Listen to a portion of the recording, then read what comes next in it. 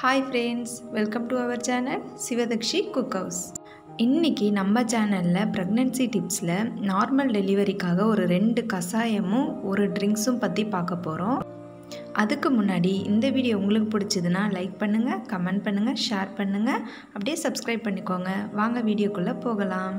First உங்களுக்கு hundred percentage normal delivery ஆகணும்னா ninety percentage நீங்கள் வந்து நல்லா வாக் பண்ணணும். ஒரு நாளைக்கு ஃபார்ட்டி ஃபைவ் மினிட்ஸ் ஆச்சும் நீங்கள் நல்லா நடக்கணுங்க. மீதி இருக்க டென் பர்சன்டேஜில் ஃபைவ் பர்சன்டேஜ் நீங்கள் வந்து நல்லா பாசிட்டிவ் திங்கிங்கோடு இருக்கணும். உங்கள் பேபிஸ் கூட நல்லா இன்டராக்ட் பண்ணணும். பேபிஸ்க்கும் நீங்கள் நிறைய பாசிட்டிவிட்டி க்ரியேட் பண்ணணும். அதுக்கப்புறமா மீதி இருக்கிற ஃபைவ் பர்சன்டேஜ் தான் நம்ம இந்த மாதிரி வச்சு குடிக்கிற கஷாயம் இந்த ட்ரிங்க்ஸு இந்த ஹெல்த்தி ஃபுட் ஐட்டம்ஸ் இது மூலயமா நமக்கு நார்மல் டெலிவரி ஆகும். ஃபர்ஸ்ட்டு கஷாயம் என்னன்னாக்கா சோம்பு கஷாயம். சோம்பு ஒரு பாத்திரத்தில் வச்சு நல்லா அது வந்து பொரிஞ்சு ஒரு மாதிரி ப்ரௌன் கலர் வர வரைக்கும் நல்லா வந்து அதை வந்து பொரிய விடணும். சோம்பு கஷாயம் ஏன் வச்சு குடிக்கணும் அப்படின்னு சொல்கிறாங்கன்னா ப்ரெக்னென்சி டைமில் நிறைய பேருக்கு பொய் வலி வரும். அது பொய் வலியாக பிரசவ வலியான்னு கண்டுபிடிக்கிறதுக்கு இந்த சோம்பு கஷாயத்தை தான் வச்சு கொடுப்பாங்க.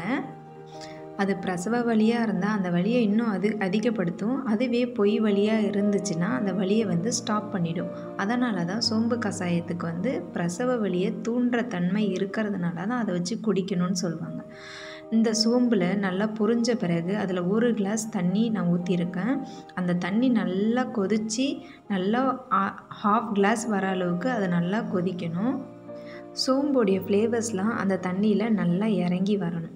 அதுக்கப்புறம் பனைவெல்லம். பனைவெல்லம் ஏன் எல்லா கஷாயத்துக்கும் ஆட் பண்ண சொல்கிறாங்க அப்படின்னு பார்த்தீங்கன்னாக்கா அதில் நிறையா அயன் இருக்குது அதே மாதிரி சுண்ணாம்பு சத்து அதிகமாக இருக்குது இந்த ரெண்டுமே வந்து குழந்தைக்கும் ரொம்ப நல்லது.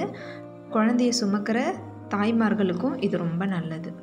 அதுக்கப்புறமா நம்ம வந்து அந்த பனை வெள்ளத்தை ஆட் பண்ணி அது நல்லா கரைஞ்சதும் அதை ஃபில்டர் பண்ணி குடிச்சிக்க வேண்டியது தான் இந்த கஷாயத்தை எட்டு மாதத்துலேருந்து வீக்லி ஒன்ஸ் கண்டிப்பாக குடிச்சிக்கோங்க. அதுவே ஒம்பது மாதம் ஆன ஆன பிறகு வீக்லி ட்வைஸ் இதை கண்டிப்பாக குடிங்க. நல்ல ரிசல்ட் கொடுக்கும். இது ரொம்ப நல்லது. நெக்ஸ்ட்டு முருங்கைக்கீரை கஷாயம் முருங்கைக்கீரை எல்லாருக்குமே தெரியும். முருங்கைக்கீரையில் அவ்வளோ சத்து இருக்குது டாக்டர்ஸ் என்ன ப்ரிஃபர் பண்ணுவாங்கன்னா ப்ரெக்னென்ட் லேடிஸை டெய்லியுமே முருங்கைக்கீரை எடுத்துக்க சொல்லி ரொம்ப ப்ரிஃபர் பண்ணுவாங்க. வெறும் கீரையை எடுத்துக்காமல் அந்த ஸ்டெம்மோடு சேர்த்து எடுத்திங்கன்னா இன்னும் ரொம்ப ஹெல்த்தியானது நான் ரெண்டு கிளாஸ் தண்ணியில் ஒரு கைப்பிடி அளவு முருங்கைக்கீரையை போட்டு அதை நல்லா மூடி போட்டு நல்லா கொதிக்க விடுங்க.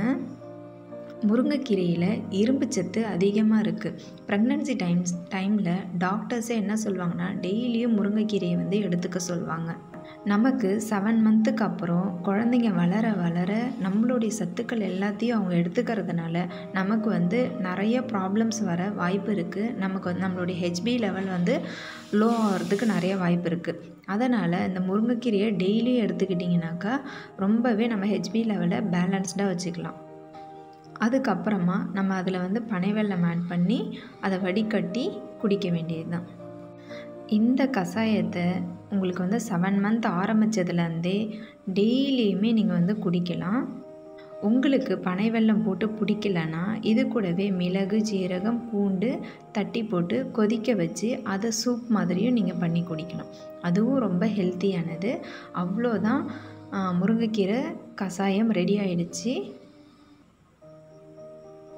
நெக்ஸ்ட்டு வந்து சாதம் அடித்த தண்ணி. இந்த சாதம் அடித்த தண்ணி நம்மளை வந்து ஹைட்ரேட்டடாக வச்சுக்கும். இது கூட என்னென்னலாம் ஆட் பண்ணி குடிக்கலாம்னா கொஞ்சமாக ஜீரகம் ஆட் பண்ணிக்கலாம்.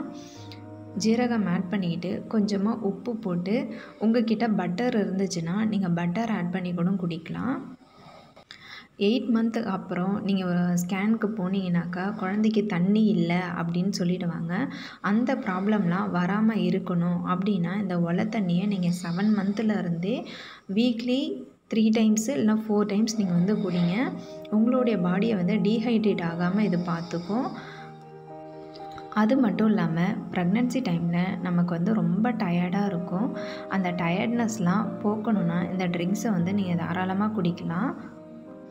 இது வந்து நமக்கு வந்து ஒரு எனர்ஜெட்டிக்கான ட்ரிங்க்குன்னு கூட சொல்லலாம். இந்த வீடியோ உங்கள் ஃப்ரெண்ட்ஸ்க்கும் யூஸ்ஃபுல்லாக இருக்கும்னு நினச்சிங்கன்னா கண்டிப்பாக ஷேர் பண்ணுங்கள் தேங்க்யூ ஃபார் வாட்சிங்